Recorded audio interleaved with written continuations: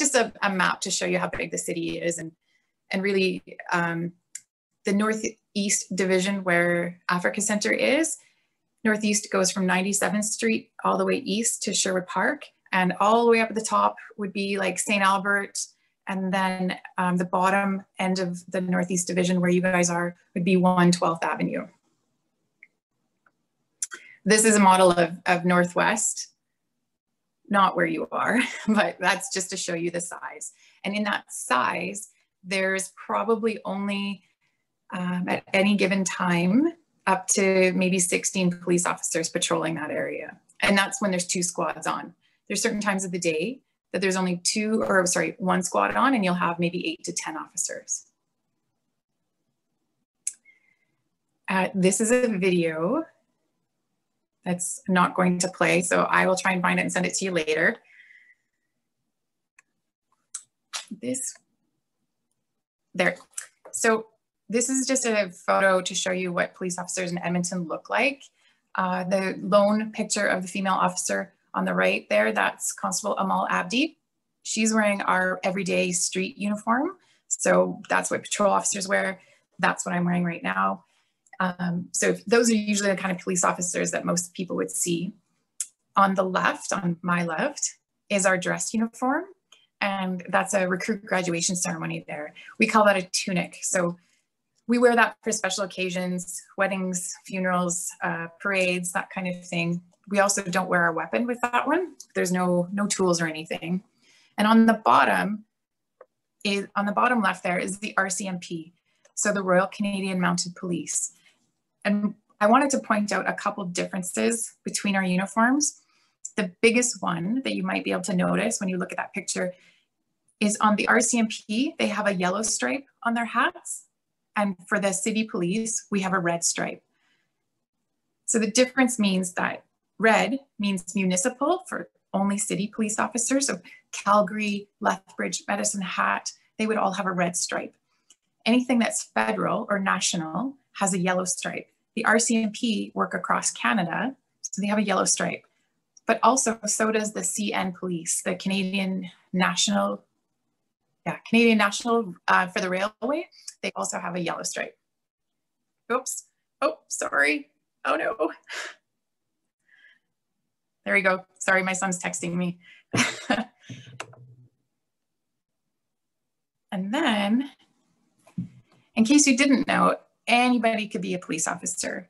You don't have to be a Canadian citizen. You can also be a permanent resident. You just have to be the, over the age of 18 and you have to have a valid class five driver's license. Um, and you have to have uh, your high school education or two years of post-secondary. And then there's some tests that you have to do. So a written test, a fitness test, um, an interview with one person, and then an interview with a panel, uh, a polygraph test, so a lie detector test, and um, a physical. So those, those are some of the things that you have to do. It's about eight to 10 steps in total, but it doesn't matter how old you are. It doesn't matter what gender you are or what race or what religion will take you as long as you have good quality character. Maybe some of you remember Harpreet in the top left. He was in this job before me, but he actually went back to Vancouver these are some of the vehicles that you might see around town. Uh, mostly all of us drive the SUVs in the top right corner. We used to have Crown Victorias, which were um, four door cars. They're really big, kind of like a boat. Uh, but now we all drive the SUVs. And in the top left, we have a canine vehicle. And the, there is no back seat in the canine vehicle because the whole back of the truck there is for the dog. And there's a fan, to keep them cool. There's a heater to keep them warm. There's water and food and a bed in there. It's kind of cool, but no, no prisoners ever go in the back. In the center is our helicopter. We just got a new one because the other one is uh, phasing out and uh, I think it, it's cost too much to repair. So we did fundraise and get a new one. And then there's the motorcycle cops. Those are traffic guys, which I personally could never be because I couldn't write a ticket. I hate it. Um, and then on the bottom right is some of our beat cops and our police officers here in Edmonton, we ride our bikes all year round when we're on the beat, even outside in the winter. and this picture is just to show you that there's different kinds of law enforcement. Uh, in Alberta, Edmonton, we have Alberta sheriffs. The sheriffs work in the courthouse and they work on the highways, they work in the jails. Sheriffs have a blue stripe because they're provincial. So red is municipal, yellow is federal, and uh, blue is provincial. We also have peace officers. Uh, they work in parks, they work in the transit, they work downtown, you might see that some of them. They have the authority to arrest if need be, on, only on certain offenses, but they have to turn that person over to a police officer as soon as possible. And there's a few tickets that they can write as well. And in the bottom right is security. Um, I'm sure you've seen the folks that walk around uh, West Edmonton Mall or even Londonderry Mall, City Center. They hire private security there. Sometimes they get confused with us. This is some of the ways that you can get in touch with the police. 911, obviously, for emergencies. We also have the complaint line, the 780-423-4567. So 911, you would phone in case of emergency, which is uh, something bad is happening right now, somebody's in danger. The complaint line would be the number that you would phone if uh, you woke up in the morning and someone stole your car. It's not an emergency. You don't know when it happened. It's still something, it's still a crime and you need to report it. So you could call the non-emergency line. There's also Crime Stoppers, which is an anonymous way to report a crime. Uh, we also have social media that you can communicate with us, but you can't report anything on social media like Facebook or Instagram or Twitter because it's not monitored 24 7. We do have some community engagement officers that work in each division and some beat officers. That's also another resource for you. So just back to the 911, you might need to call 911 in an emergency. And the first thing that they say to you when you call is, what do you need? Police, fire, or ambulance? And you have to be able to tell them which one that you need. And from there, the dispatcher will send it over to whatever, whichever department that you need. If you're unable to communicate or talk, they'll send all three. Usually the police will go first and see what's happening, and then we'll relay to fire or EMS if it's safe for them to come in.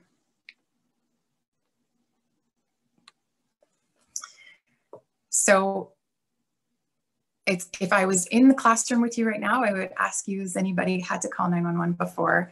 Um, obviously I can't, but when you call, the operator will ask you, what do you need? Police, fire, ambulance. The next question they'll ask you is, who are you?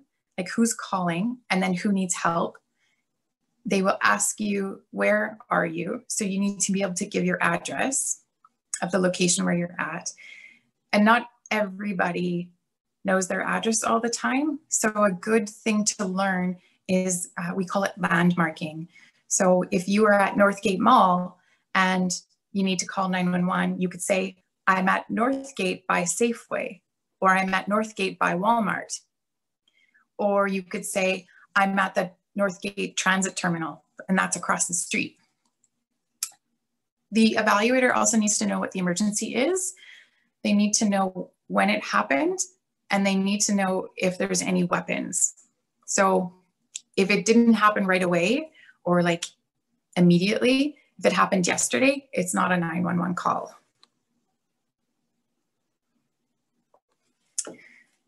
And then those non-emergency calls, we also use the word complaint line, but it's interchangeable. So non-emergency would be stolen property, damage to property, a break and enter, a stolen car, a collision, or fraud. And there's even some of those that you can report online. Uh, mischief to property, graffiti, a break into a garage, that can be reported online. Stolen car has to be reported to the complaint line. And just so you know, because it's winter season, uh, collisions, the damage has to be more than $2,000 when reporting a collision to police. If it's less than $2,000, you actually don't have to report it to us. Of course, not everybody's a mechanic, so it's hard to tell. you're always allowed to get an estimate first.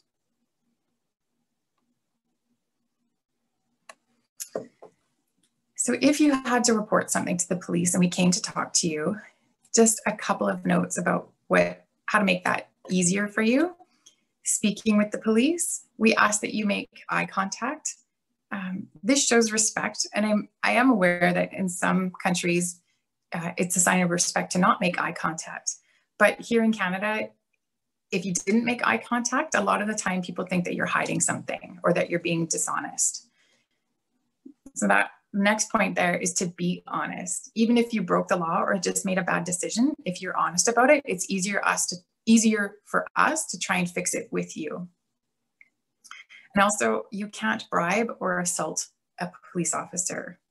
So that means you can't try to give us money or say, uh, if you own a restaurant, say, I'll feed you, come, come to my restaurant and I'll feed you and don't give me a ticket. We can't do that.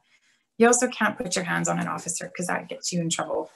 You shouldn't, if you actually shouldn't put hands on anybody if you're fighting with them. So criminal law, criminal laws are the same across Canada and they're enforced by the police.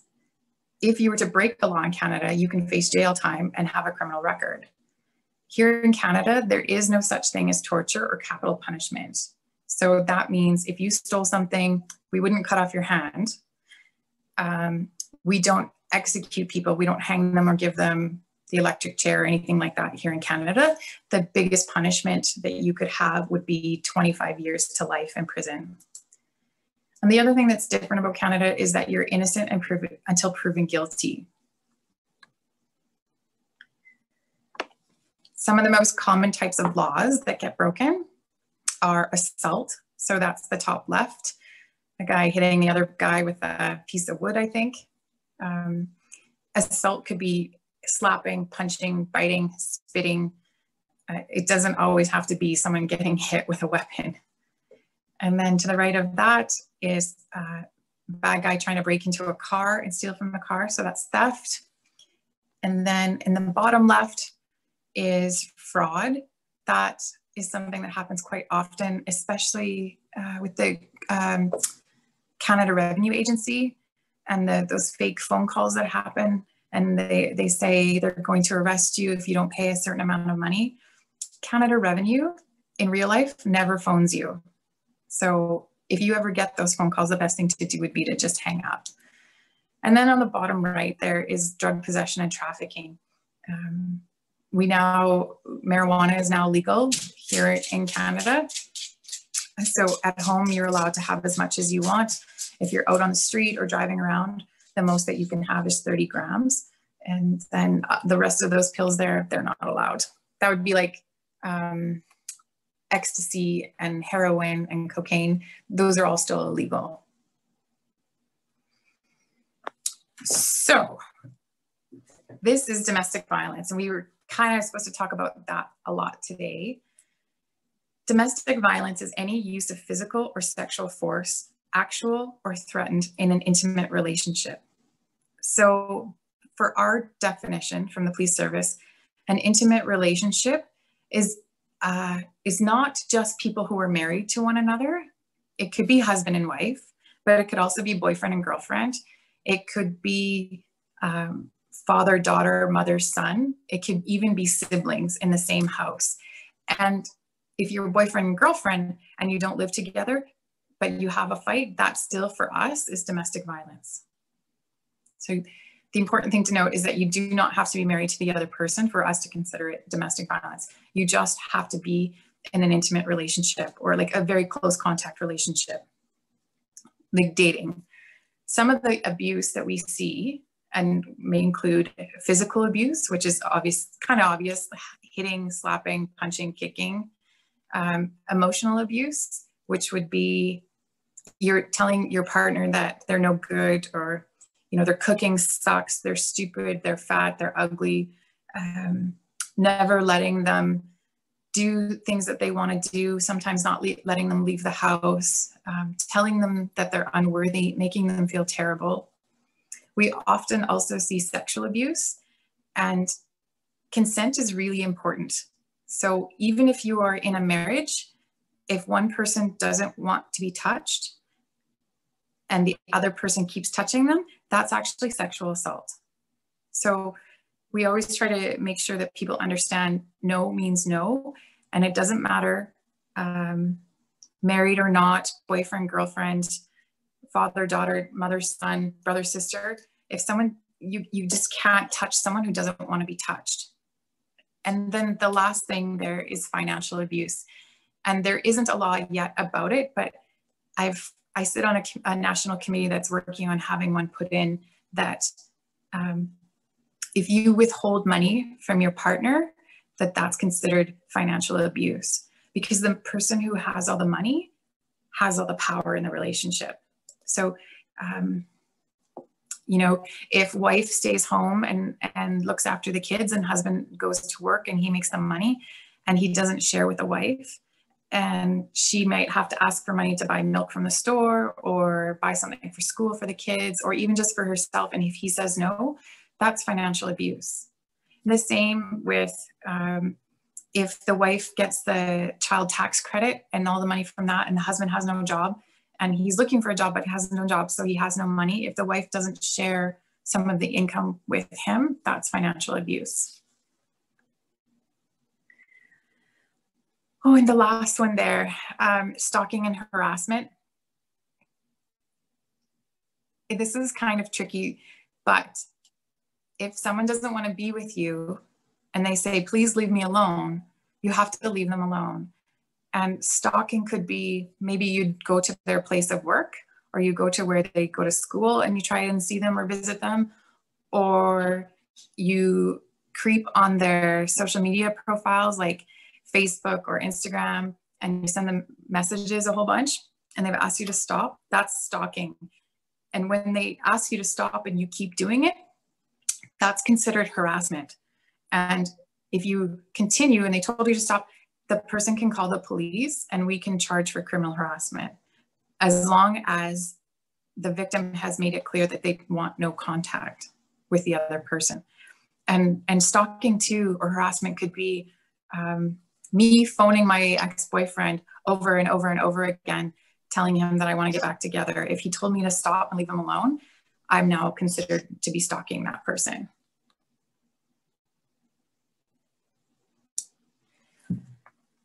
So again, it doesn't matter what the community that you're from, what the rules are back home. Here in Canada, um, people are not possessions. And so abuse is wrong in any language. And we don't have the right to hurt somebody in our family, to control them, to keep them in line, to teach them a lesson. We can't hit people. We can't use our shoe. Um, like I've heard sometimes Somali moms like to do. I'm just kidding. Um, or we can't we can't use a broom on someone. We can't use a belt. Uh, when I was a little kid, my mom liked to use the wooden spoon on my butt, and uh, until one day it broke, and uh, I teased her and said, like, "Is that all you got?"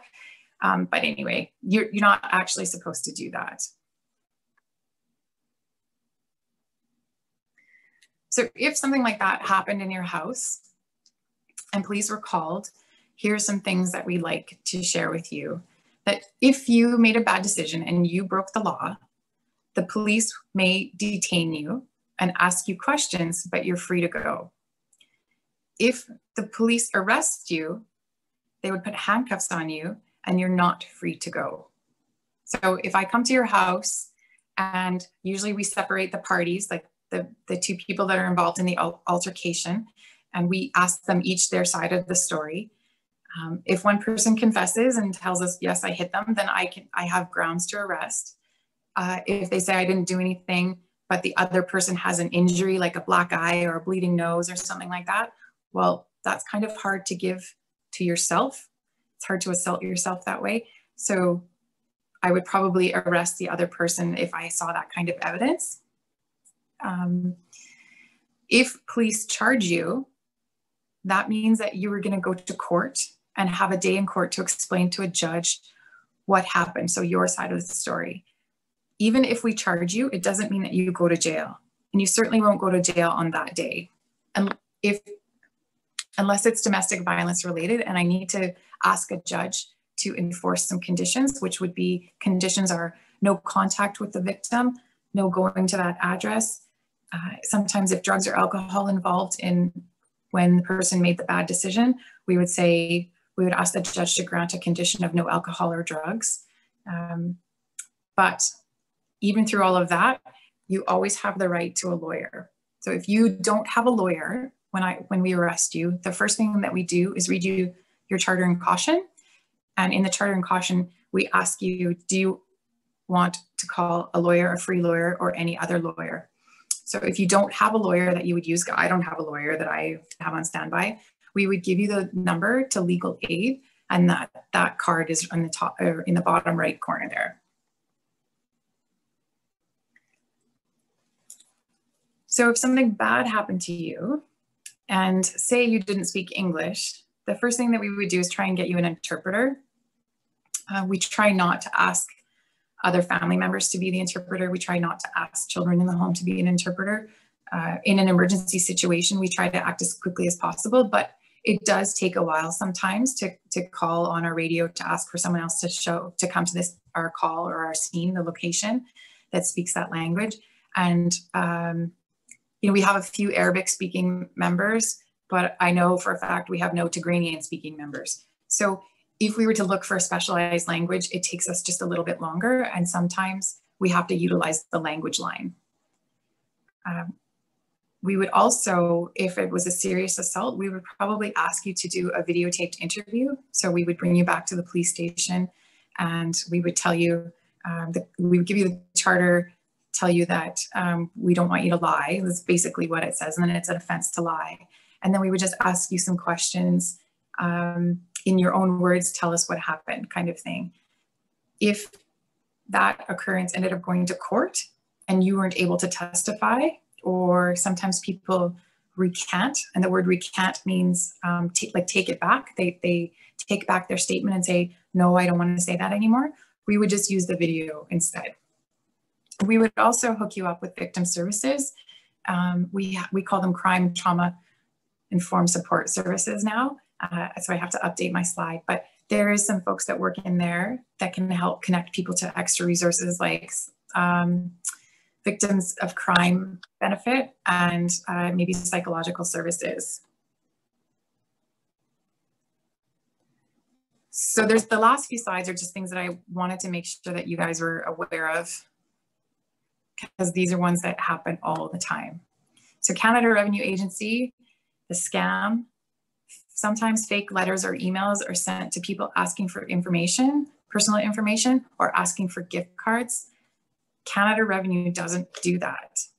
They don't ever ask for gift cards. They already have your personal information. That's a scam, or we use the word phishing. Do not open any of the attachments that come with those emails. Quite often, they're attachments that put spyware on your computers and corrupt your computers. This happened to my parents, even though I've told them several times, don't open emails from people you don't know. Uh, my parents did, and spyware was downloaded, and the, the people could use the camera on their computer to see them, which is really uncomfortable.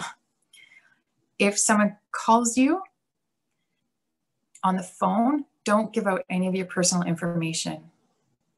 Don't tell them that you'll go get gift cards. Don't tell them what your birthday is or your SIN number. They are just phishing and asking for information so that they can commit identity fraud. And if you're ever unsure, you can just contact Canada Revenue Agency.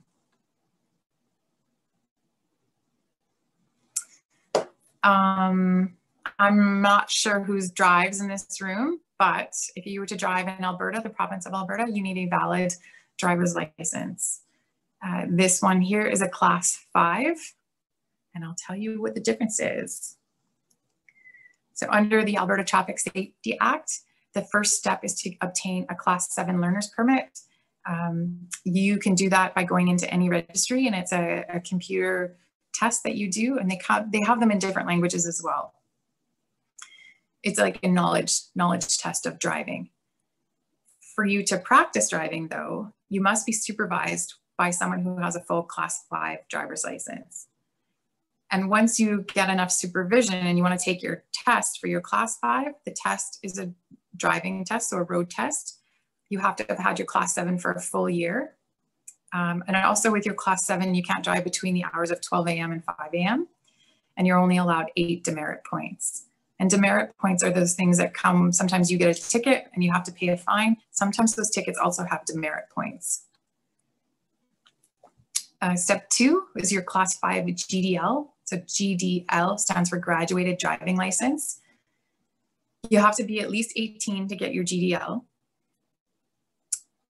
Um, no, that's wrong. Sorry, because I'm thinking I'm looking at my own children who are not. It's not that one. Your your full class five is at 18. Um, anyway, sorry about that. You have to be Canadian or permanent resident. Uh, you have to have work visa or approved refugee claim. You have to do the road test, which is about half an hour. With your class five GDL, you cannot supervise a class seven, and you have to have your license for two years before full class five. And then class five is you, you're on the two years before you can test, no license suspensions, and you have to take your advanced road test. There's no limit on the amount of time that you can stay as a class five GDL. So just some rules that I'm sure everybody knows, but it's worth reminding. Everybody in Alberta has to wear a seatbelt. Um, it's the law. It's a $115 ticket if you're not wearing a seatbelt.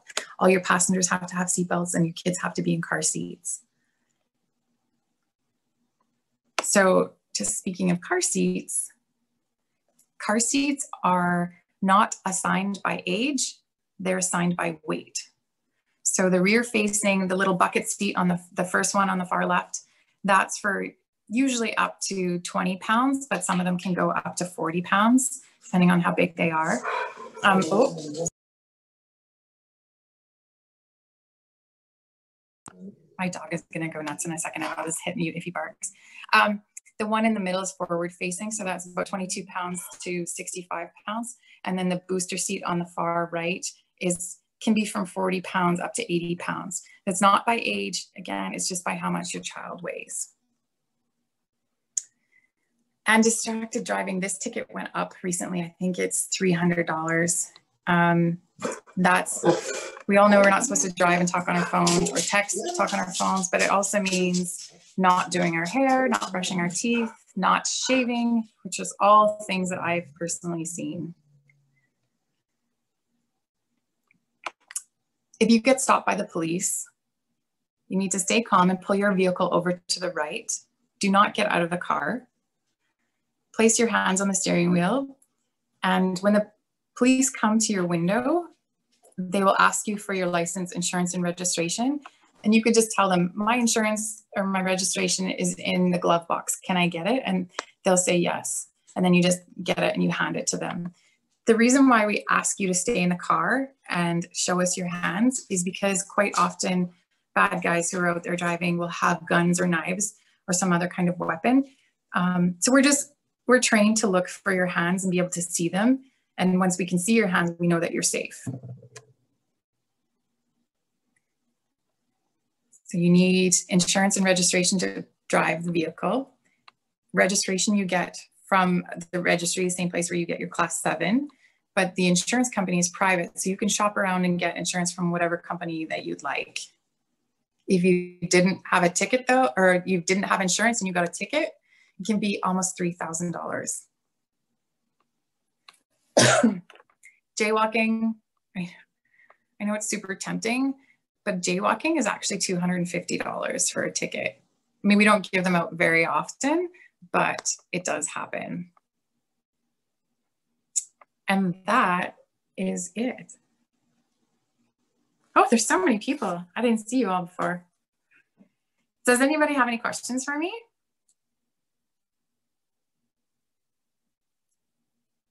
Uh, hi, Jackie. This is Ali Mahdi. How are you? I'm good, Ali. Nice to hear from you. Good. Okay. I want to ask you the some of the department if in case that there is they need interpretation. Okay. Interpretation. Yes. Haye Soomaaliya wax su'aal haddaad qabtaan oo aad ku sheegaysaan English amaba haddii aad Englishka aadan rabin oo luqadiina aad jeceshahaan aad jeceshihiin I mean qof alla qofka isdhehaysiin meesha oo joogo inuu u sheega maxaa yeelay hawshan booliiska waa wax muhiima waaye waxa waaye ilmaha discipline ba trafficada ticketka j walking discipline demerit point waxaa waa waxyaabo oo nagu cusub waaye. Iyo wixii kale oo aad aad qabtaan xaajigoo guriga laga bixiyey macnaha wax un marka haddaad su'aal qabtaan opportunity waaye qoftan ay joogto hala weydiiyo. Assalaamu calaykum haddaad u baahan tihiin aniga ii sheeg anaa u sheega haddii qofka dad kale uu jirana u sheega thank you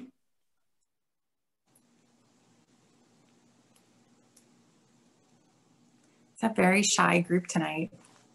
Okay, I will ask you, and I, I think they wanted uh, someone to start, you know. Uh, okay, you, okay, sometimes the, the problem that some uh, newcomers like me have is that disciplining our children.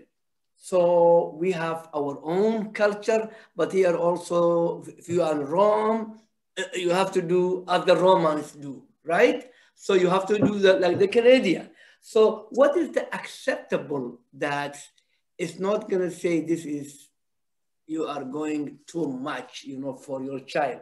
If the child is not listening, is not behaving, the, that is one point.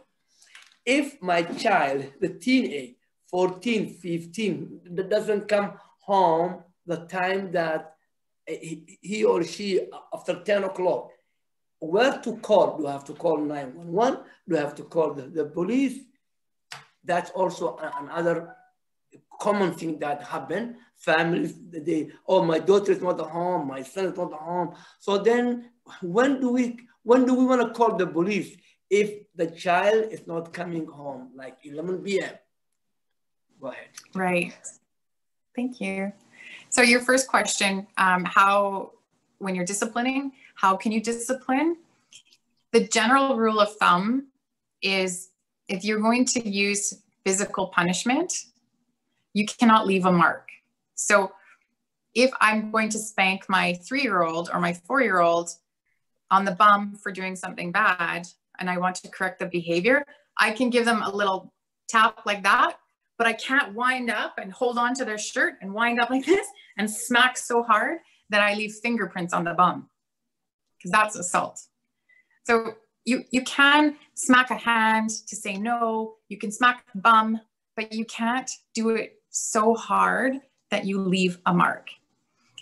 And you can do that when they're younger, but when you're looking at a maybe 11, 12, 13 year old, you there's no reason to use physical force. You have words. And it's about using your words to tell them uh, no, but also work through that conflict with them and maybe trying to understand why they're making the bad choices that they're making.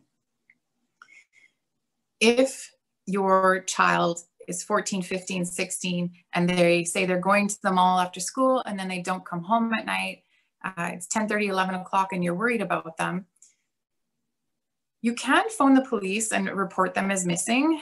You don't have to wait the 24 hours. But the thing is, we, we would um, have, we would only look for them in the places that you tell us where they think they might be. We would send maybe if you had a picture of them, we would send that picture out to the Edmonton Transit so all the bus drivers could see it and the peace officers could see it. So if they came across your child, we would go look at the malls, we would go look at the park. We would go look in places that you suggested, maybe Clareview Rec Center or the Africa Center, the bas basketball courts. But it's not a crime for them to be out late. So there's nothing that we can do for enforcement to punish them. That's something that you would have to do as a parent. So quite often I recommend grounding the child or taking away some of their privileges, like maybe their uh, if they play video games, you could take away the, the time that they're allowed on the video game. Um, when my kids were teenagers and causing trouble, uh, I used to take the modem that that brought the internet into the house. I would take that to work with me. So they were only allowed on the computer when I was home.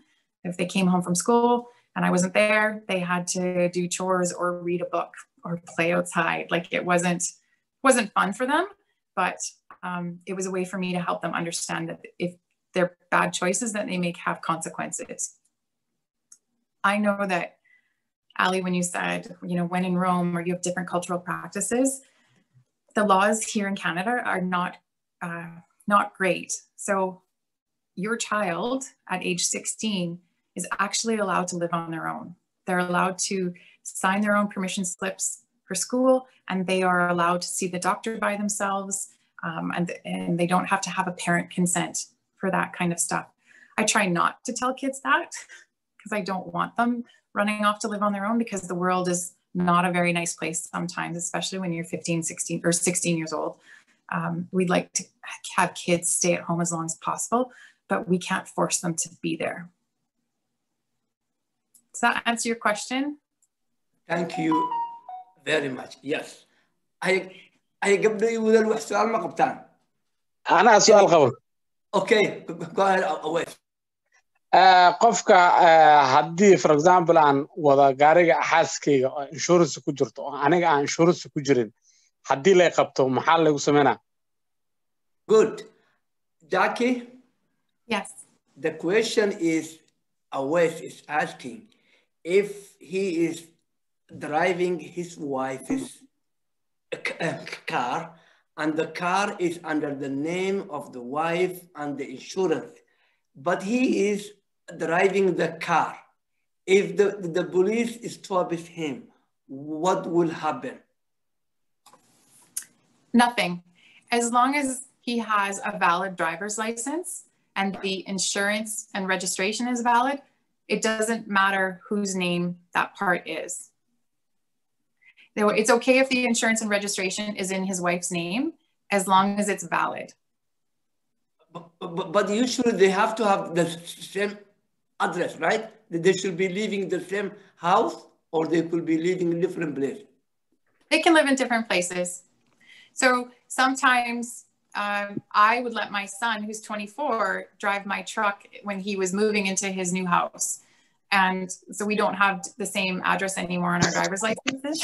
But as long as the vehicle is insured and registered, that's okay. haye awees waa maqlaysaa ah hadduu qofka oonan haysan asaga laftirkiis wax insurance Ma- maya hadday xaaska qabto waa wadi kartaa laakiin haddaan insurance qabin waa laga reebaa jijo baabuurka gaariga insurance oo lahaay anigaa waday. Maxaa tirahdaa ii sheegay insurance maysta ticket lagu siiyey laba boqol iyo siddeetan iyo saddex. Boqol saddex. Eh, wa- waxaa laguu sii the- reason waxa miya adiga maadaama insurance aadan qabin. Ha marka. Jackie? Yes. The question is that he was new to Canada and he was driving of his car, of, of, of his wife's car. And the police Okay. at the time who stopped him because maybe you, I, I know the police are also human. He, he got a, t- a- he was issued a ticket because of not having an insurance, even though the car was insured under the name of his uh, wife. Okay. So in that case, if the car is insured, you have the right to go to court and argue it. Just because a police officer gave you a ticket doesn't mean that you're guilty. So, I mean, you might have paid the ticket already, but if you haven't yet, I would make an appointment for a trial date. And then you would take the, a copy of your insurance, even if it has your wife's name and the ticket, and you could tell the judge that I was driving this car, but it was insured under my wife's name.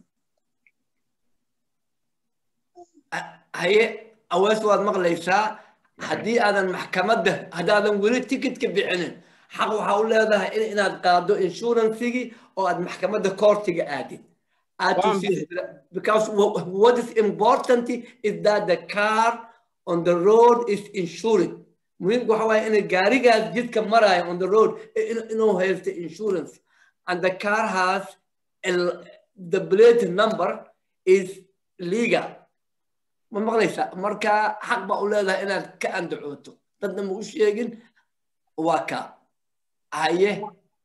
Waan bixiyey maxaa tiraa two thousand seventeenkii ahayd jajkan markaa u tegay aan u geeyey insurancega waxay naagta waxaa ugu tiri oo meesha lacagta lagu bixin maxaa tiraa jajka xaaska u geysay waxaa la soo xiray gilti waay adiga ma aaday. Maya markaas aniga ma joogin xaaskaa tagtay waxaa la qofkan gilti waaye gaariga insurance la'aan waday maxkamaddii ka baaqatay no? Maxkamaddii laheedaa ka baaqatay. Markaas markaas cudurdaara lahay meelaa ku maqnaa waa ogaha okay Jackie, it did happen, but in the future, if they get the ticket, they have to go the time between the, the, the whatever 30 days, they have to go to, to the court to see the judge, right? Is that the case? Yeah. So on the front of the ticket, the little yellow ticket, about two thirds down would be the court date.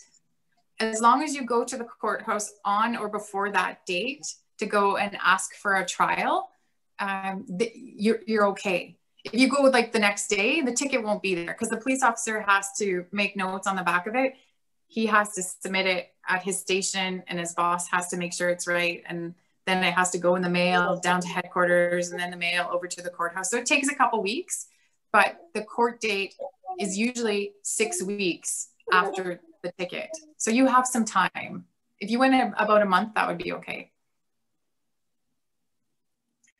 I, okay, awas waa ka hadlaynaa midaas waa dhamaatay hadda calaa kulli xaal yaa waa dhamaatay waa mahadsantihiin okay any other question gabdho iyo wiilal maadaama today jacki oo ka socota e b s ay nala joogto wax kaloo su'aala oo ku saabsan anything about the police. Hi jackie. It's Minette. how are you? Good. It's nice to see you. Nice to see you finally. We'll have to get in touch afterwards, okay? um, just wanted to um, to confirm what you said because I once got a ticket for um, $600. And yes, and the police officer actually, unfortunately, he had lied. Um, he said that I was trying to pass across a road uh, line where um, a pedestrian was in the middle of the street and that I was going to hit her. Whereas in reality, the person was on the sidewalk. I only saw her after passing a big truck. And I even waved at her and I said, I am sorry, like I apologize. She nodded, you know, whatever. And I left, but he came after me. Anyway, um, I did go to court as because a lot of people told me to contest it, like you said and I did. And the judge saw that I was not lying, that there was actually the police officer who lied because he wanted, I think he was new or something and wanted to impress. It was the new law that came for $600, you know, if Yeah. you pass across line. So, um, what I wanted to say to the community is that it is true. When you go to court, um, you have a big chance of winning um, because the judges see the other point of the person and it is um, it's important to to go and try to contest it. So um, but i am also surprised at what you said because my daughter is just got her license and she wants to drive my car and i'm going no you have no insurance and the insurance company told me not to let her drive the car until she has insurance. So now I'm going, is that true or not true? Like who's It it depends on what kind of insurance package you put on the car. Oh, So that's the, another layer to complicate it. Like, um, I have insurance on my car. I pay a little bit extra so that my kids can drive it. Whereas maybe sometimes in some families they choose not to because uh, if my if my son who's 20 has a car accident with my car, my insurance will go up because young True. adult males are high risk yeah, true. so for my my kids they have their own cars now and they pay for their own insurance on their own cars and i took that extra insurance off of my car because they have their own so if a husband and wife are sharing the car and they're both over the age of 25, they're in the same risk category. Um, so it wouldn't be more expensive to let the other person drive, but it really, it depends on what kind of insurance you buy. Okay, okay, I didn't know that. Okay. Yeah. All right.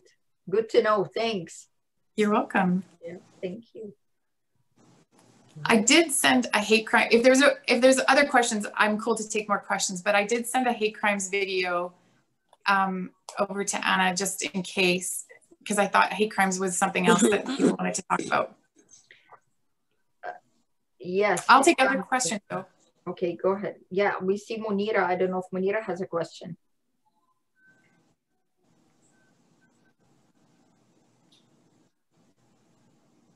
Okay, I guess not. So I am sorry I came in late, so I didn't really follow the beginning. What uh, what did you tell them? But um, I was wondering if you could talk to us like a little bit about um, family violence and how does it work, um, you know, in the homes because especially sometimes even family violence happens against men. It's not always against women maybe the percentage is higher against women, but it could also happen against men. And I was wondering for men, is there a way, a place to go? Is there anything they need to do? Um, or for women also, like what to do when there is really people are, are terrified. markaas maxay dhooyin muniira rabta inay hadasho intay ka hadlaan so for domestic violence, it does happen against men. You're absolutely correct. Okay, sorry. okay, go ahead. Yeah. Um, and why we see the numbers are higher for females is quite often not because it happens more, but because men don't report it. Men ah. are afraid to report it. And I earlier I talked a little bit about consent.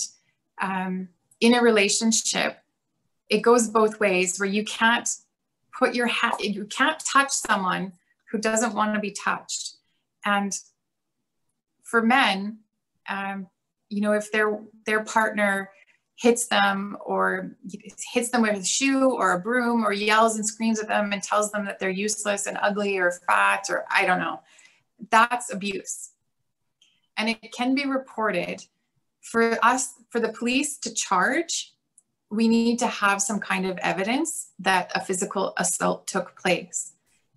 If someone is just using um, bad words and saying mean things, that's emotional abuse. There is no criminal charge for that. But we would still help the person find a safe place to go. So I know that IFSA, like Islamic Family Social Services, has a men's group that we would, you know, could refer them to, or we would give them the number to 211, which is a, a, resource for all kinds of support. And the person could call 211 on their own or when they felt safe to do so to ask for help. Me personally, I would probably call the Africa Center and see if there was somebody there that could help, or you know, Catholic Social Services, or um, we could Mennonite. give them the. What's that? Mennonite Center. Yeah, the Mennonite Center. So there's lots of support agencies that are better equipped than the police officers are to give that support outside of the, the moment when it happens. Because we have to keep in mind police are first responders. We come when you call 911. We, we look at the problem and we go, okay, this is what we need to do to make everybody safe.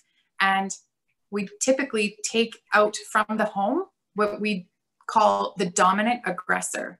So we don't always say we take the men out or we take the females out. We take out the dominant aggressor. And even if we don't lay charges, we will ask the person who's basically being the bully or making the bad decisions to go somewhere else for the night to make sure that they're safe, just to cool off. So you, you need, if you have family that you can go stay with, or you can go rent a room in a hotel. If you're really didn't have any other resources, we could take you to a, a drop-in shelter for the night.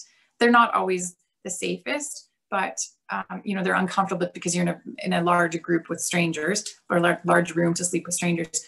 So we would do you have any friends? Do you have any coworkers? Do you have any family that you can stay with? And we would give you a ride there just so that everybody cooled off.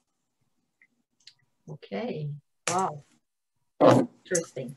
Um, we have a question from Amal. She mentioned in the chat that her mic does not work. And she's Okay. saying, uh, if I don't have a Canadian driver license, can I drive with my foreign one? And if I would like to get a Canadian one, how long would that take? So first, can she drive with an international one? I personally know that in the past, there used to be a three months you could drive with an international, but I don't know now if the law has changed. So I'll let you answer the two questions. I am Googling right now because I, you're right. It used to be three months for some and um, not every country, it- Canada, we, we don't allow every country. Oh, Yeah, it depends on what country you're from. And uh, it'll, then it depends on what province you're in because BC, Alberta, Manitoba, Ontario, we all have different driving laws. So here in Alberta, the Traffic Safety Act, the Alberta Traffic Safety Act has a set of rules, but it w- would be different in Ontario. So it, A, it depends on the country. I was in uh, in Quebec and they were accepting people from France. Like if you drive in France, you go to Quebec, then you don't need to pass the the test anymore. They just consider you a Canadian driver right away. But coming from Quebec to Alberta, we I think we had I don't remember anymore, but I think we had to pass the test. No, we were accepted from Quebec to Alberta. We were accepted, but you're right, some provinces don't accept.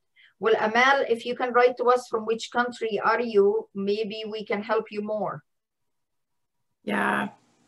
So it says on the Alberta, I'm on the Alberta um, USA. oh, She's from the USA. USA. Um, it doesn't say on the list. Um, you might have to take your knowledge test here, like a, a road test here. Okay.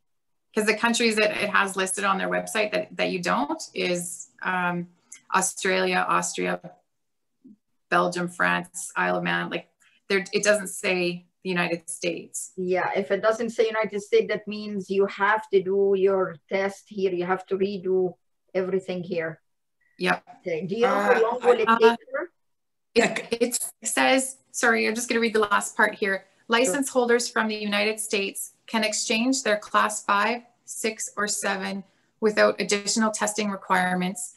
Any class of license other than those in the five, six, and seven must complete all testing requirements. Okay, so Amal, I don't know if you got that. If your driver license is uh, level five, six, or seven, you do not have to pass again here. You should go to any Alberta service office and you give them your USA driver license and they will give you a Canadian one. But Yeah. for any other one, like I think for trucking or maybe something like that, that that means you have to repass the test. Um, and how long will it take? It will, it will take you five minutes. You just have to go to any office. That's where you usually get your driver license or you pay a ticket or whatever. You just go there and as you're standing, they will do it for you and then send it to you in the mail. Right, Yep. Jackie? Yeah. Yep. You just need to bring proof of residency, like something with your address. Yeah, any letter, like letter from EPCOR or uh, TELUS or any any company, even just the letter addressed to you, that would be enough. Or your passport, right? Yep. Yeah, anything that has Yeah. an Because you have to have, yeah, Not- and your not- and your photo. Not the passport, because the, the, the, the, the passport doesn't have address. It's something that has address. I Oh. did it that I was in Colorado, a student there, and I came here, and I had the, the American, um, I mean, the driver license, the- I mean, Colorado.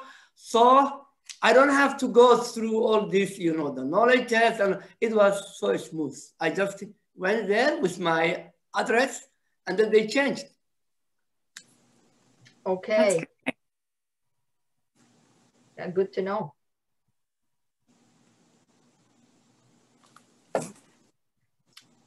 So can I tell you guys what a hate crime is? Do you want to talk about that? Yes, um, Anna had put the, um, I don't know, Anna, can you, can we play the video that you sent us now or we can't? I don't know about Zoom, if we can do it so we can discuss it. Yeah, I was- um, maybe Jackie could try. I don't think on mine it would work. But Okay, I'll go back to, I'll just hit share screen again. And website. Oh, hang on. Let's see. I bookmark it, I'm trying to play it from the chat.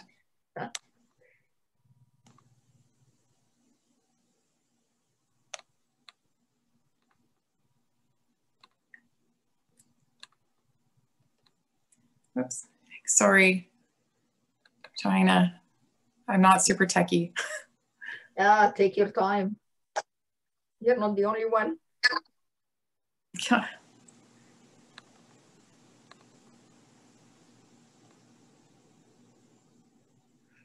Are you able to see, see that? Yep. Perfect.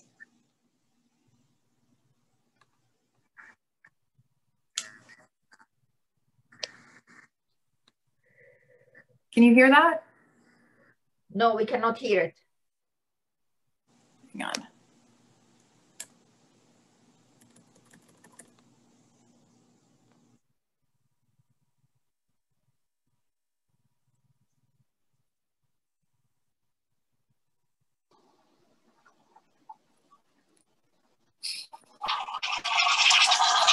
Yeah, now we can.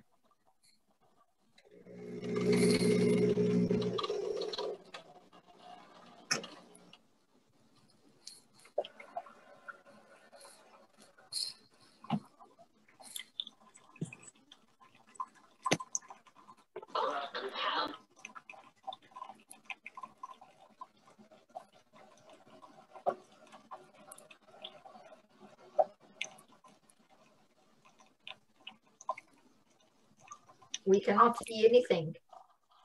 No? No, now we can hear but cannot see anything. Oh dear. Okay, that's okay.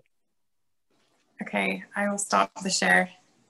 If Yeah, you, if you guys are able to um, click on it from whatever after, you can watch that video. It's about four minutes and it's Sergeant Gary Willits from our hate crimes unit explaining what a hate crime is and the difference between a hate crime and a hate incident. So I'll just tell you from us what a, what a hate crime is and defined by the criminal code. A hate crime is an offense committed against a person or property which is motivated in whole or in part by the suspect's hate, bias, or prejudice towards an identifiable group based on real or perceived race, nationality, ethnic origin, language, color, religion, sex, age, mental or physical disability, sexual orientation, or any other similar, similar factor. Which is a big, broad definition, but some of the examples of that would include violence or threats of violence, of mischief or vandalism, distribution of hate literature or hate mail, threatening phone calls, and or destruction of religious property. If one of these criminal acts occurs and the investigating officer feels that it was motivated by hate, the file would be classified as a hate crime. So we, you need to understand about that is that just because if if I went and I vandalized the Al Rashid Mosque, if I put spray paint on it with funny faces and and, and I said, um, Jackie was here, that's not a hate crime. That's just mischief. Oh. Yeah. Interesting. Okay. But if I went to the mosque and I put a whole bunch of swastikas and I put kill all Muslims, that would be a hate crime. Okay. Interesting. So there's a bit of a difference. And same with a, a hate incident is, and this is, it's hard to talk about, but if someone called um, me a bad name or so I'll use my own family as an example. My, my own children are half Chinese. And if someone called them a derogatory name like um, chink, if they said, I don't like that kid, he's a chink, that's not a hate crime. It's a hate incident. So because you call somebody a bad name or you say, um, go home, all China, Chinese people, or um, even President Trump in the beginning of Corona, when he was saying that the, the coronavirus came from China and it's all the Chinese people's fault. It's ignorant, but it's not a hate crime.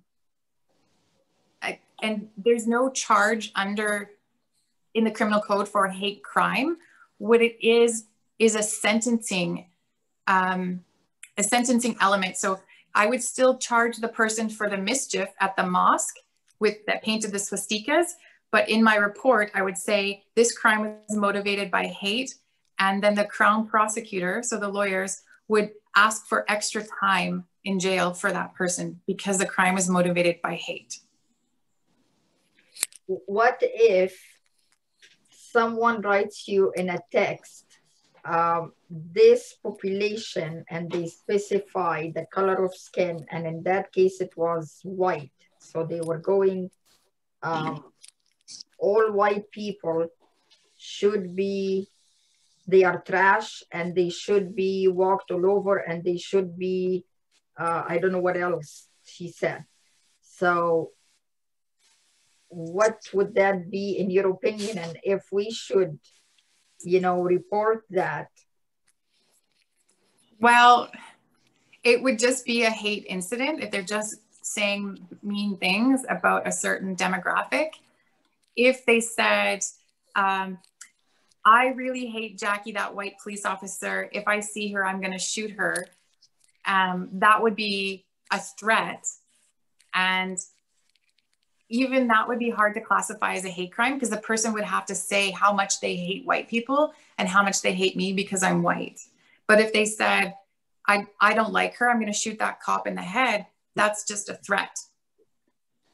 It's, it's really tricky to um because it's really tricky to navigate because me personally i find that those words are more hurtful than the mischief than the graffiti i, yeah. I find it, co- it causes me more heartache to hear that someone called someone else the n word or like w- something really horrible i just i think that causes more damage sometimes true true and and the best case scenario for that, like say it happened between coworkers at work or even if it happened between high school students, we could give a bullying ticket.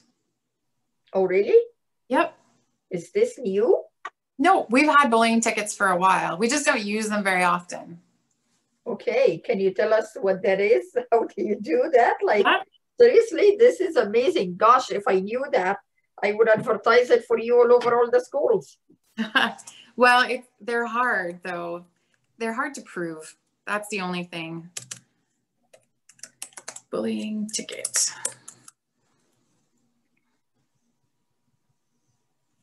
Uh, go back page.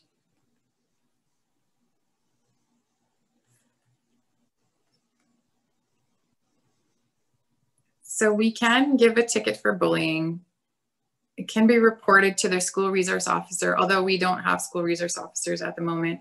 I think it's $250. Wow. Yeah. But when you give a bullying ticket to the kid, who pays that ticket? It's the parent. Yeah. Exactly. So it doesn't always serve its purpose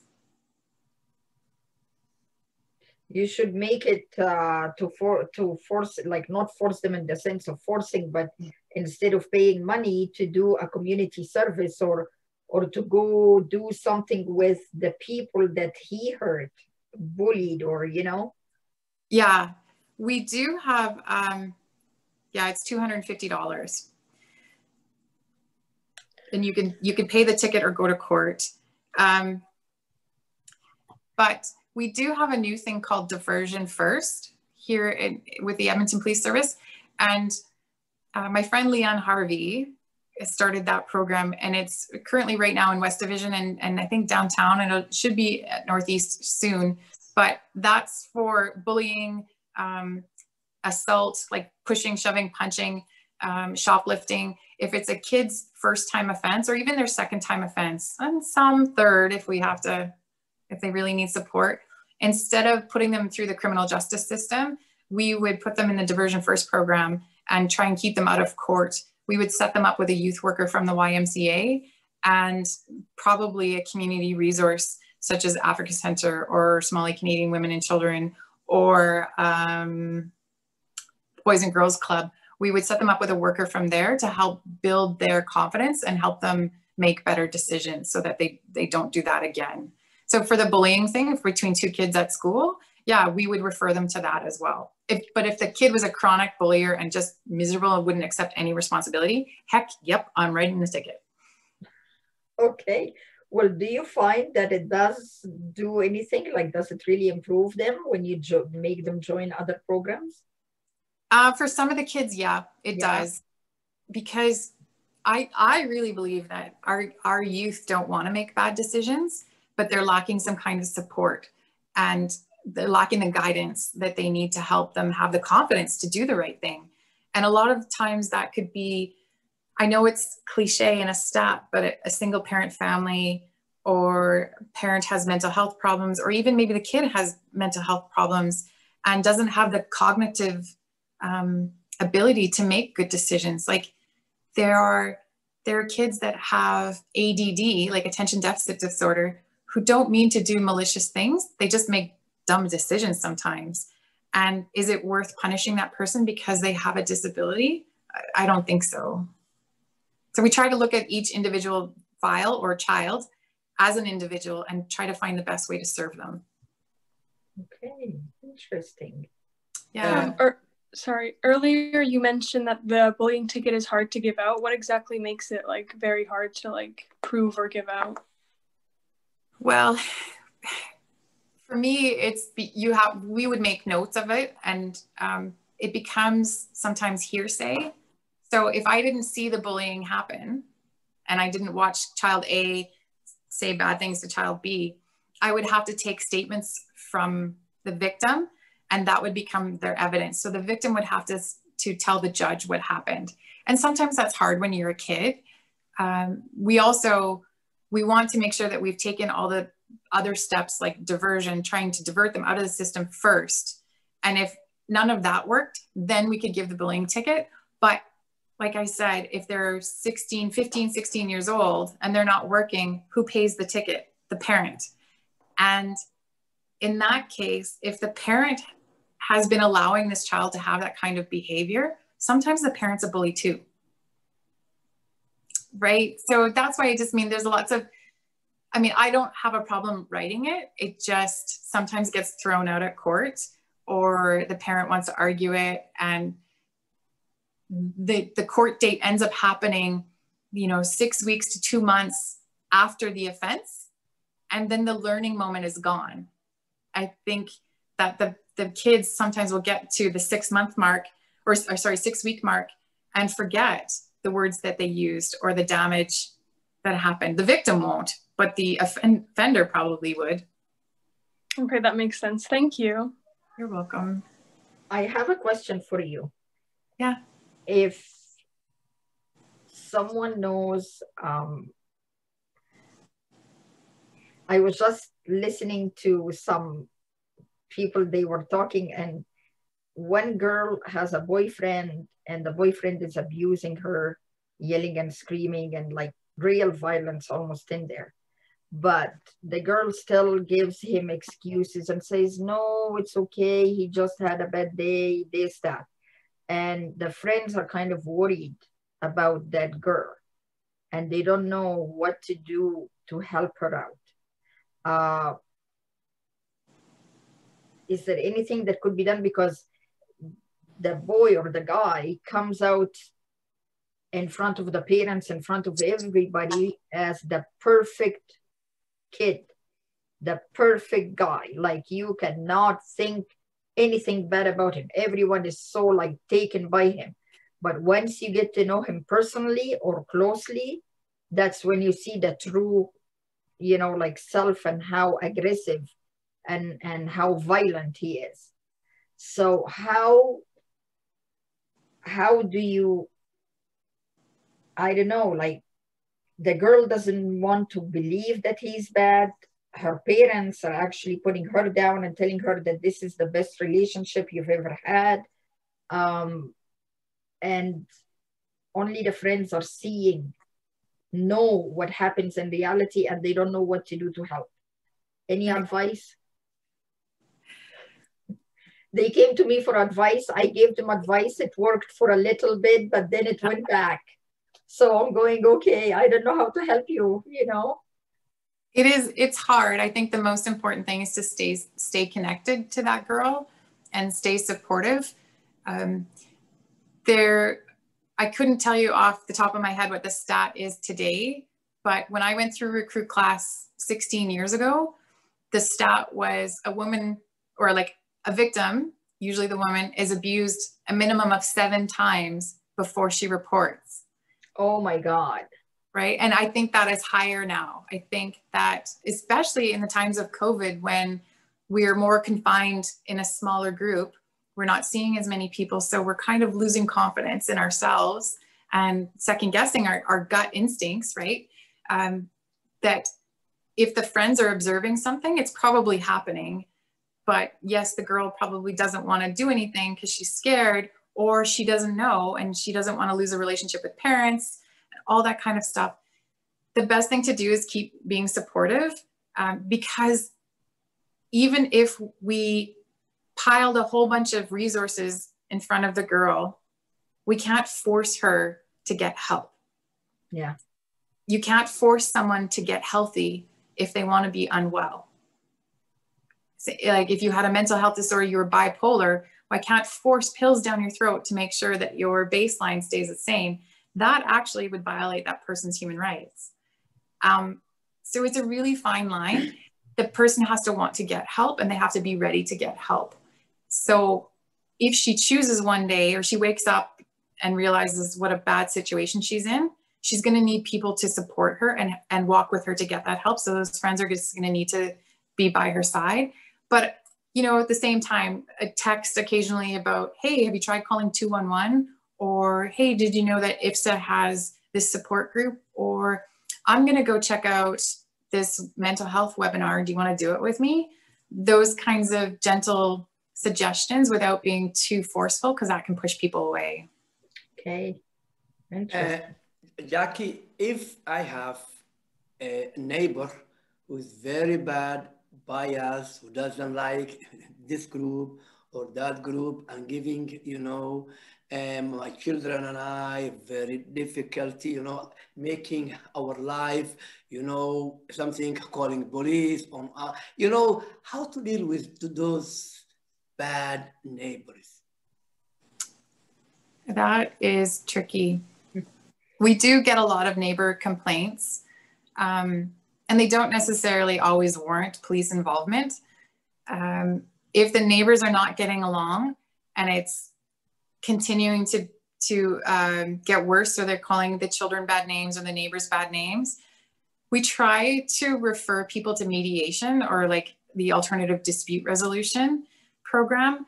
Uh, we can write the referral or make the referral for the two neighbors, but they have to be willing to participate. That's always the hard part and you can't you know you you can't fight a war with just one person right? So you need you need to fix it with two people or two parties that want to communicate and do better. If that's still not a possibility uh, and the neighbors are still fighting or one is still being aggressive towards the other person you could go to court and get a restraining order. Um, it's a bit tricky and sometimes for some you have to hire a lawyer uh, but you could get a court order so that they could have no contact with you. And if they continued after they were served with a restraining order to have contact with you, then you could phone the police and we could we could arrest them for the breach of the restraining order. But that breach just means that they have to tell a judge why they were being such a jerk. It doesn't mean that they're going to jail. And even if you did that, it doesn't always help the relationship. So the first step is always trying to communicate and mediate. So police, you could call the police and we could go and talk to the neighbor and say, hey, the things that you're saying are really mean and hurtful.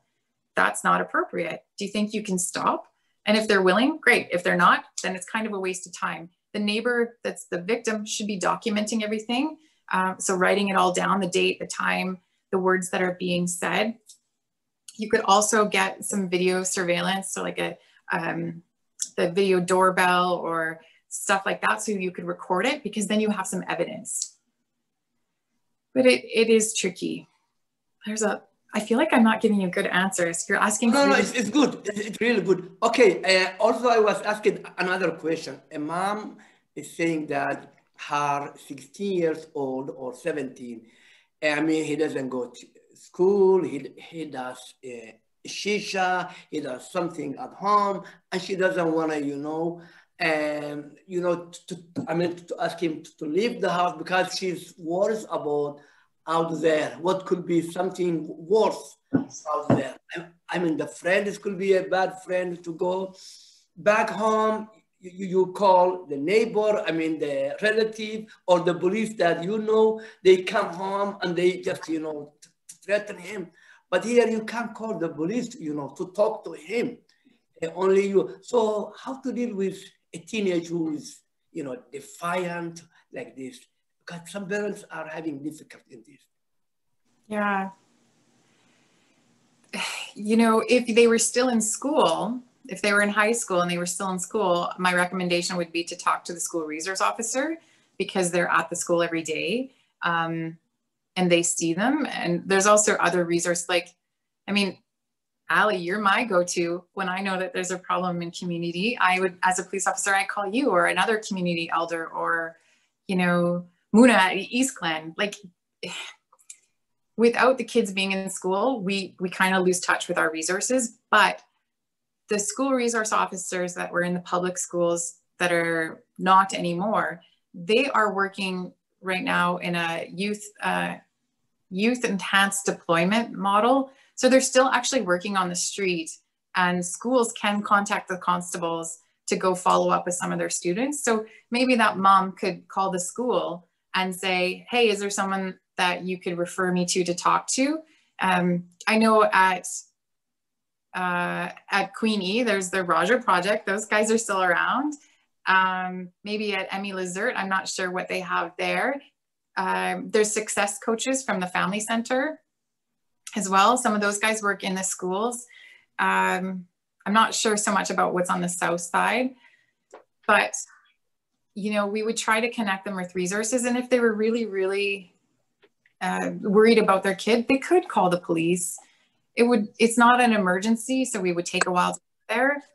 Um, but you could, they could also reach out to someone like me and I would try at, or send one of the community engagement constables to go out and talk to them face to face, see what the problem is. It's, there's a lot of violence happening right now it's kind of scary out there. Thank you. Can um, the mother call 211? Like, do yep. you think can can she call 211 and ask for help or someone to talk to so they can tell her what to do? Yep, absolutely. 211 is available for anyone, and 211 is in the whole province now. Hello, Jackie. Good evening. Hello. Jibril here. How are you? I'm good, Jibril. Nice to hear from you. Yeah, nice to hear from you as well. So, you know, uh, COVID 19, everybody's just hiding place. Yes. yeah. yeah. So, uh, the, the question that I have uh, is uh, from time to time, you know, community leaders will get a question from the community members and it could be a weekend, maybe Saturday, maybe Sunday. Some mothers are worried something has taken place. And what would be the best way to get, you know, I remember at one time I called you, but that weekend maybe you were on vacation or something. Yeah. I had to call Darren, but uh, you know, I think he called me back a couple hours after that was that was great actually to hear back from him. And so we we always get questions because things can happen, you know, over the weekend, maybe Friday evening. So what's your take on that side of it? Well, there is. I'm just pulling it up. Um, there is a new area called help. I'm just looking it up to see if there's a phone number that I can give to you. But we don't want to talk to unknown face. We, we need to talk to maybe Jackie or someone like you. I wish. I Yeah? wish I could be there 24 7. Okay. Um, there's a new there's a new area in the community and self community safety well-being branch yes. And Dave Veach is the deputy chief there but right now Anina is the acting director acting something. Executive director, right? yeah. Well he is he's executive director already but he's in um, Dave Veach's spot right now. I just can't remember what the title is for that rank. Um, Right. and in that area is this place a unit called help human centered See, uh, engagement. You know they, they work 24 7 The reason that I mentioned this is that EPS, if they need to talk to community leaders like me, my I'm I'm available. What happened here? Okay. Uh, you know, I remember uh, Brian Simpson when he was the deputy police. Yeah, you remember that incident at the West Edmonton Mall, right? yeah yeah He, he called me seven o'clock in the morning to let me know what's happening, right? So since we are making ourselves available to EPS, instead of talking to some unknown faces, you know, maybe maybe that person should be introduced. So when we call them, they know who's calling, kind of thing. So that this becomes a, a both ways of communications and, and and using one another in terms of helping, and you know, kind of things. That's that's what I was thinking about. Yeah, sorry. No, Jabril, I totally agree with you. It's when we lo- when I don't want to say we lost Brian because he didn't pass away or anything, but when Brian retired, Yes. that style of policing yeah. went with him, Oh, I see. Okay. and like that that connection and relationship, right? And same with Terry Rocchio, he was the same way. yeah. He he really believed in the value of of creating relationships and supporting those relationships to make sure that they're healthy. Okay. so we when we lost those couple good guys um, you know chelsea and i and Yassine, we're trying to we're trying to teach other people that are above us in rank how to do it but Yeah. because we're below them sometimes it doesn't always work and you know i, I think the chief is um, he's also about building relationships but he's he's trying to please a lot of people right now and it's hard to spread himself so thin and so Yeah. we're working really hard to fill in the gaps but So where is where is Terry and Terry uh, Rocchio? Is he is he gone? yep he retired Oh, I didn't know that. Oh Yeah. my goodness.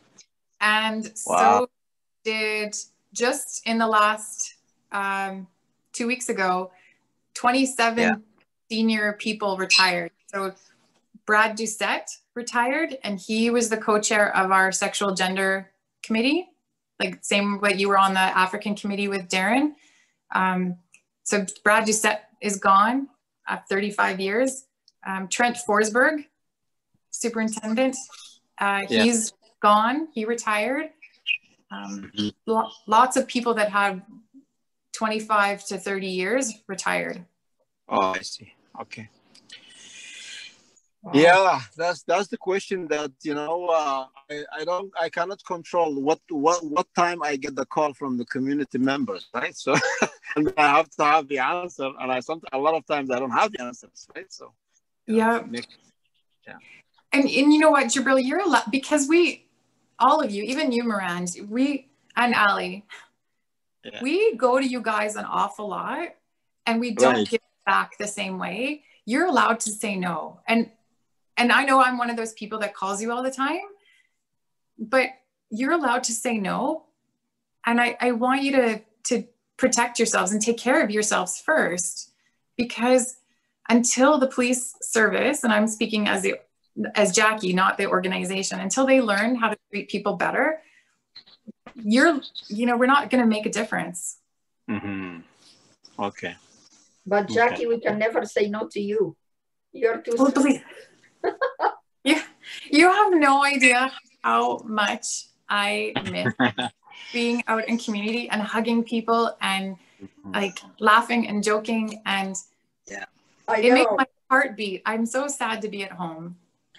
Yeah. I I, just wanna I, I just wanna take this opportunity to thank you for coming tonight and uh, giving us a little bit more information as, as a community members kind of things and also you are you are a wonderful person Jackie that you always are part of the community you always come back you always try to give information so thanks so much for that you know Thank you, Jabril.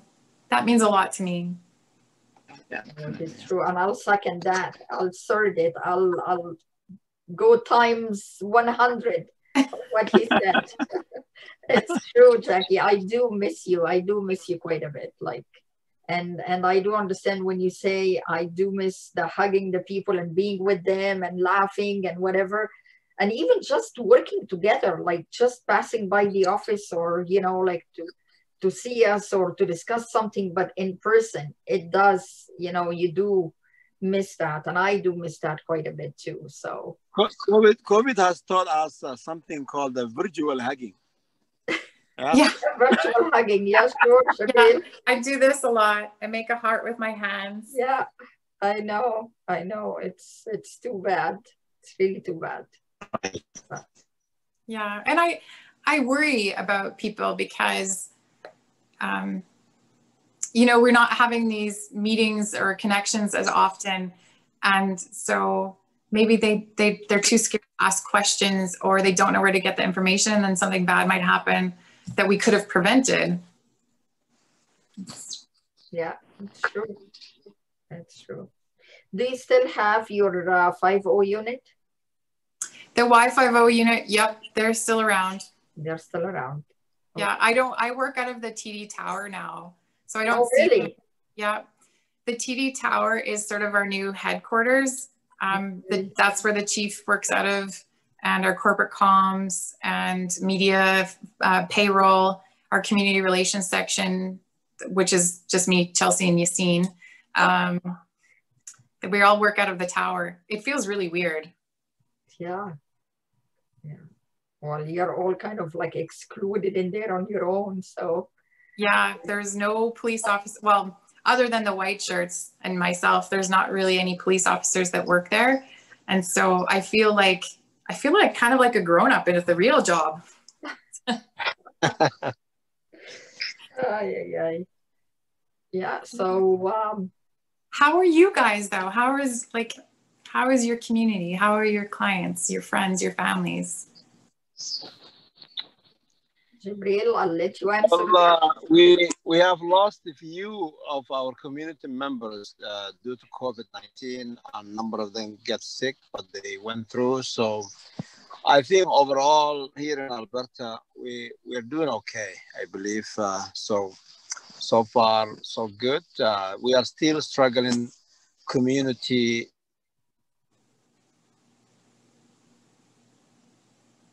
we educate Jibril, them your about- voice cut off. yeah, I know. I'm having an issue with my uh, Wi-Fi, so that's the reason why. In any case, uh, I think uh, Jackie, we're, we're doing okay. we the community's doing okay, so we're doing okay. So yeah, yeah. But uh, the struggle of Alberta is jobs, right? So a lot of people have lost their jobs, and uh, I think we're not doing, uh, you know, good in, in terms of uh, jobs, and you know, the, the the the economy is not doing well.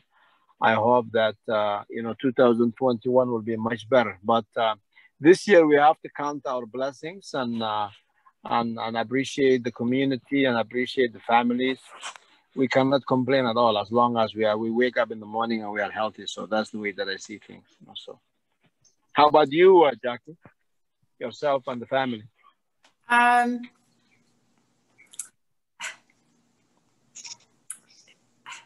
it's been a really rough year. Yeah, Oh, yeah. It is, it sorry. is tough times for all of us. Yeah, yeah, yeah. Yeah. And it's I'm not sorry. it's not bad things. I promise. I just it's hard to always be like professional, right? Like my mom had a stroke at the beginning of COVID and she was Oh. in the hospital and I had to go home and take care of her to get her out because there was so much COVID.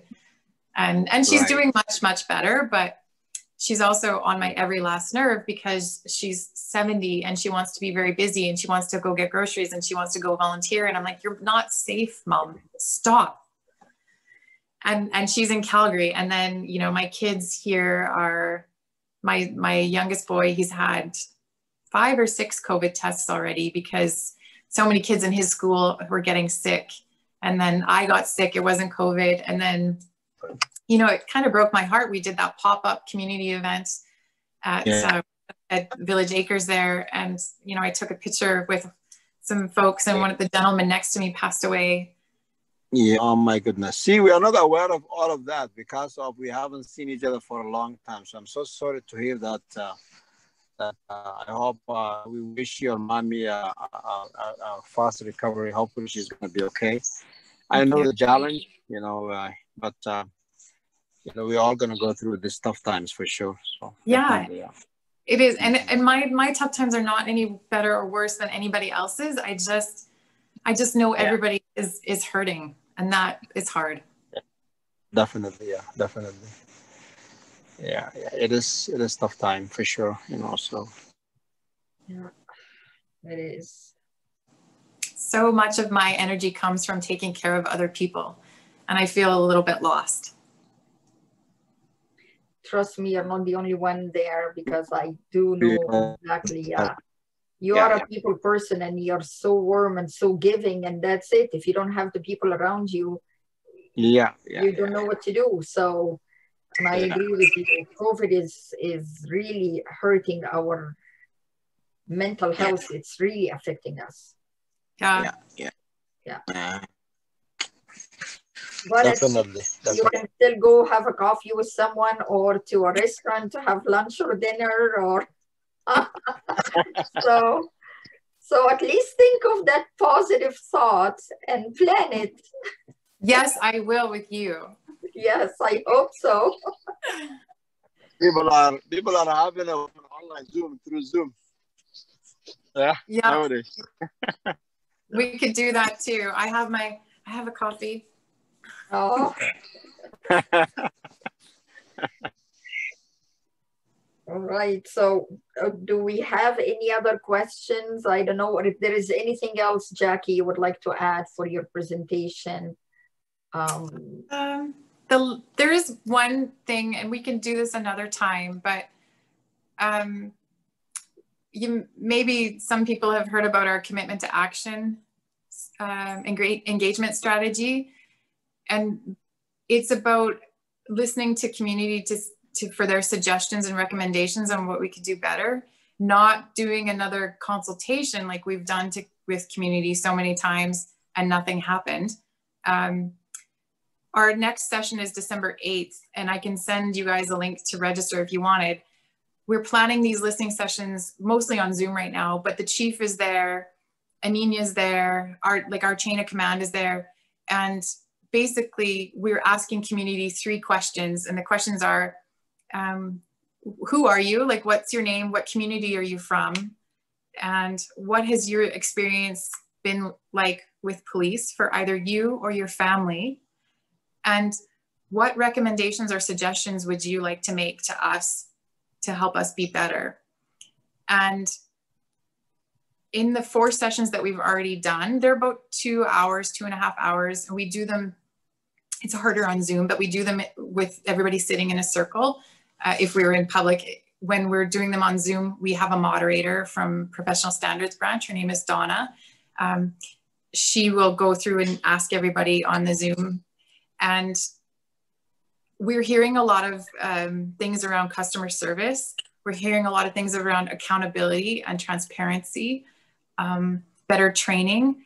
And th- because the chief is there at the table in the room, he's also hearing it directly from community because quite often when Chelsea and I make our recommendations up the chain of command, it doesn't carry the same weight.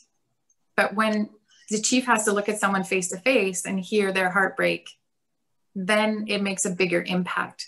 And so, you know, if, if your group wanted to, like, if your association wanted to have a listening session, um, you could set it up with me and we could we could do the same questions and everybody would have a turn to talk um, and i would be we would be fur- furiously writing notes about everything one of the su- suggestions that i wanted to let you know about that happened at our first session was that one of our community partners um, and Jabril, you might remember her, Carrie Thomason.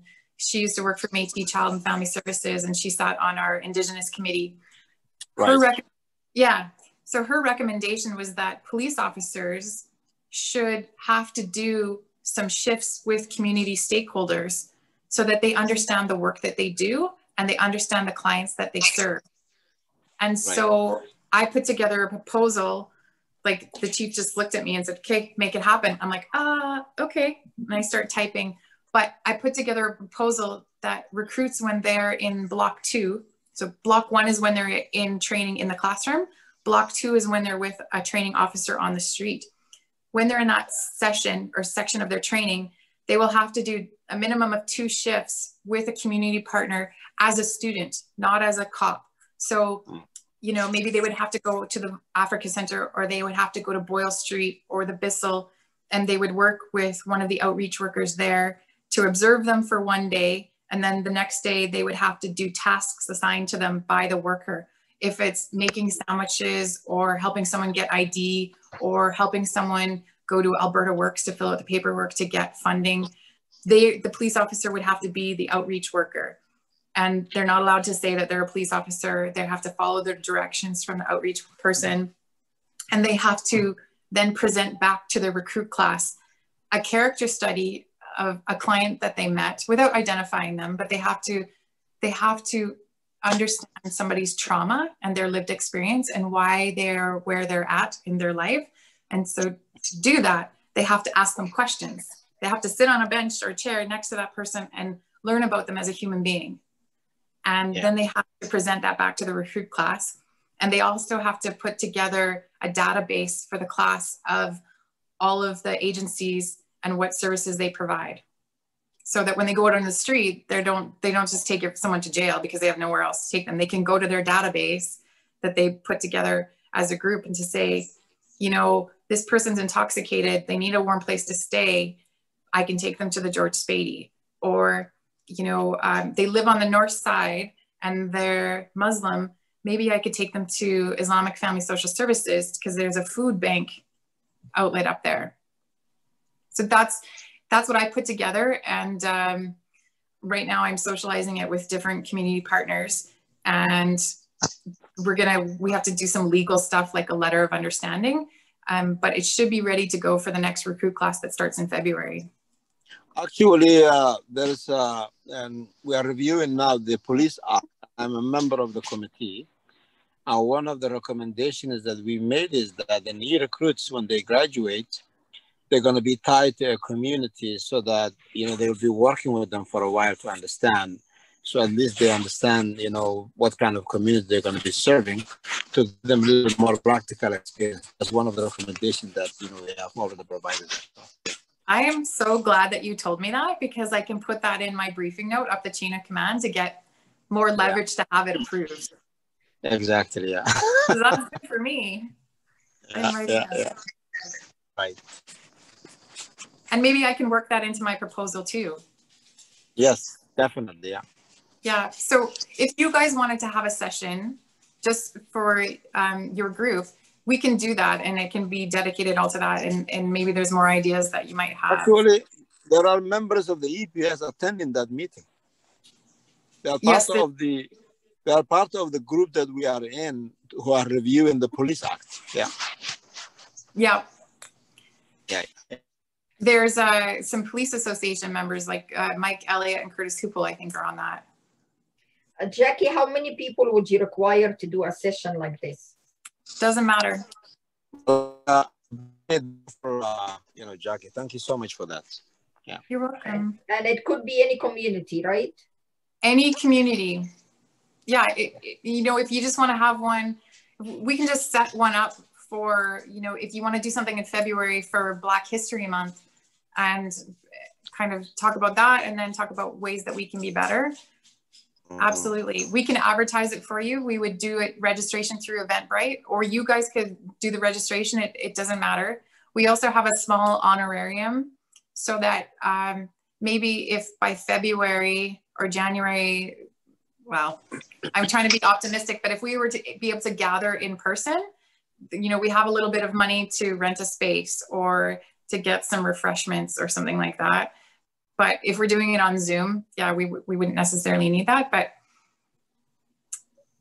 would you do it for the Francophone community?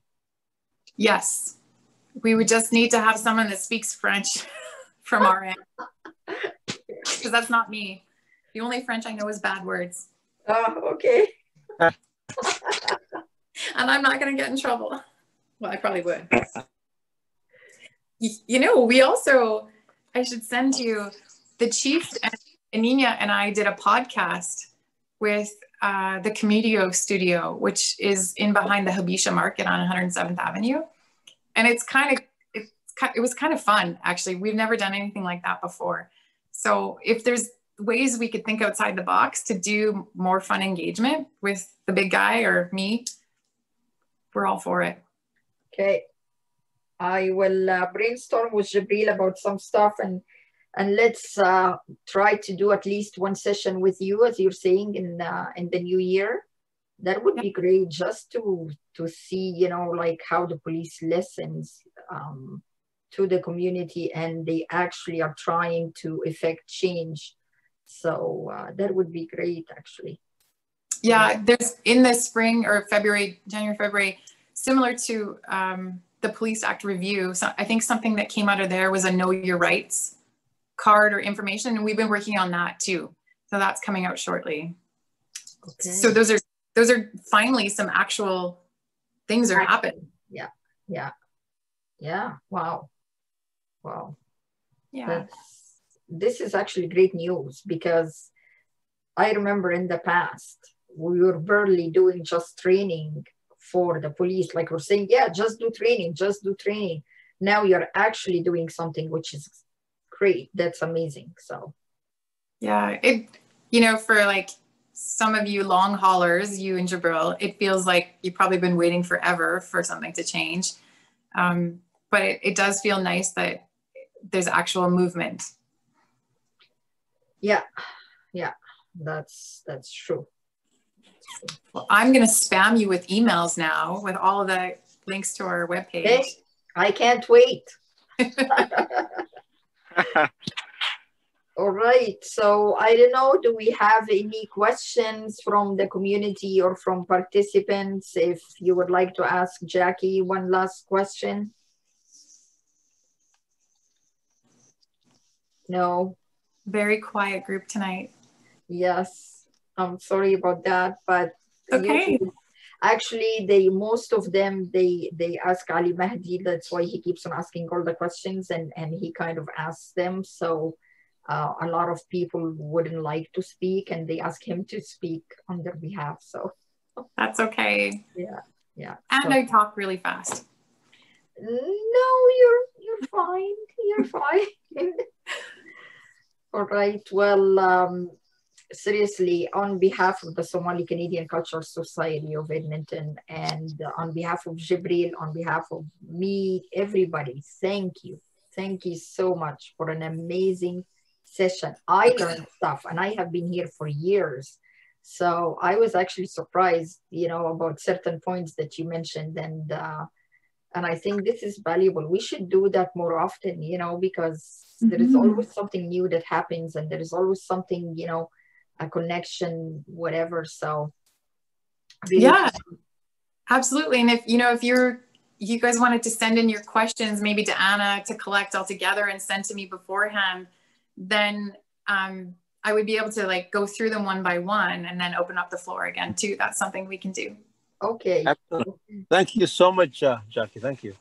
You're welcome, Jabril. Take care. Yeah, I will leave it to Anna to do the closing. So I don't know if Anna, you have anything to say But uh, Jackie, I will be in touch with you personally and uh, we definitely will connect. Thank you. Thank you. Go Um, ahead. yeah, I'd just like to say on behalf of the community again, thank you so much for coming out and sharing your knowledge and your insights. And also thank you to all the participants who came out today. I hope that you guys know I believe that you guys were able to learn and gain support from this session. So we have more upcoming sessions on different topics in the other week in the upcoming weeks. So if the participants would like to join those as well, that would be wonderful. And also uh, if you have any questions, send them to me and I will send them with Jackie and we'll stay in contact. But thank you so much for coming out and presenting and sharing your knowledge with us today. You're Thank very you so much. Thank you so much, Anne, for organizing uh, this uh, evening. So thank you so much for that. Also. Oh, no worries. Thank you. Thank you, Miran, also, and, and everybody who attended. So, yeah, thanks. Thank you, Jibril. Thank you, Jackie. You're Thank welcome. Take care of yourself and and uh, I will send you an email and please respond. Yes, I if you will. I, I will. will- The other guy I will. I will connect with you, Jackie. Also, I will call you. Okay. Thank you. So Yeah, much. for sure. Okay. All right. Okay, Bye. Stay healthy, everybody. Yes, Thank you you. too. Bye. Bye. Stay, stay safe. Thank you. Bye, bye, Thank guys. you.